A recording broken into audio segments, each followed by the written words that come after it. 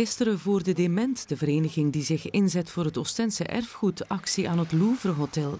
Daarmee willen ze dit dossier dat nu al jaren aansleept opnieuw onder de aandacht brengen. Hotel du Louvre is een typisch stukje architectuur uit de jaren 20 met art déco elementen. Dankzij Dement is dit stukje erfgoed tot nu toe van de sloop gered. De manier waarop dat de bouwvergunning verleend is geweest was al te gortig. Daar waren bezwaarschriften van de omwonenden, monumenten en landschappen was er tegen. En desalniettemin heeft de stad Oostende dat allemaal naast zich neergelegd en gewoon de sloopvergunning uitgereikt. Men kon ook moeilijk anders, want men had het zelf verkocht met de belofte dat er een appartementsgebouw kon gezet worden.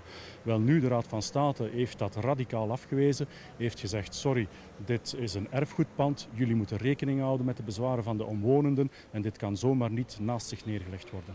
Intussen is er al vier jaar verstreken en de staat van het pand wordt er niet beter op. Dement besliste dan maar om het een poetsbeurt te geven in afwachting van een grondige renovatie. We hebben vier kandidaatkopers gehad, telkens zeer kapitaalkrachtige industriëlen waarvan we de naam hier niet gaan verhullen, die ons discreet gecontacteerd hebben en gezegd van kijk, wij kunnen voor een oplossing zorgen, wij hebben originele ideeën. Indien de bouwpromotor terug op de markt wil brengen, zullen wij voor een oplossing zorgen. Maar de stad wil niet meewerken aan die oplossing. De Oostense schepen van Monumentenzorg Bart Bronders, bevoegd voor het Hotel du Louvre dossier, was dit weekend niet bereikbaar voor commentaar.